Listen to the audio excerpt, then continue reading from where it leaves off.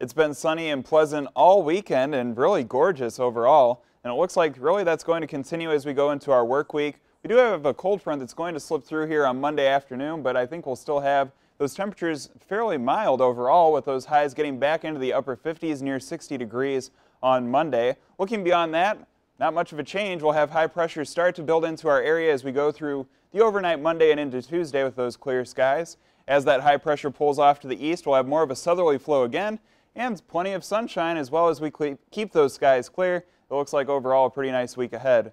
36 degrees for tonight, partly cloudy, a south wind of 10 to 15 miles per hour. 5 to 15 miles per hour tomorrow. We'll start with a southerly wind turning to the northwest as that cold front passes through. And it looks like our highs will be right around 60 degrees, getting up to 59 and slightly cooler than today. 61 on Tuesday, 67 appears to be the peak of our warmth on Wednesday, near 70 degrees for the end of November. That's really pretty crazy. Looking beyond that, it looks like we will have a pretty nice Thanksgiving, some cloudy skies, but a high of 58. We cool off a little bit on Friday with a high of 48, and next weekend's looking pretty nice with mostly sunny to partly cloudy skies and highs in the 50s.